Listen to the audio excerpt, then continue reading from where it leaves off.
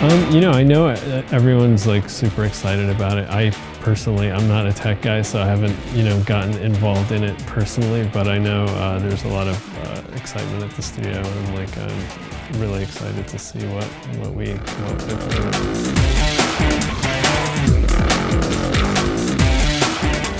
I would. Uh, I mean, I'm a big fan of Legend of Zelda, so you know, I would probably uh, like to work on a comic book based on that. But we, you know, we do have a Darksiders comic book in development that uh, hopefully will come out at some point.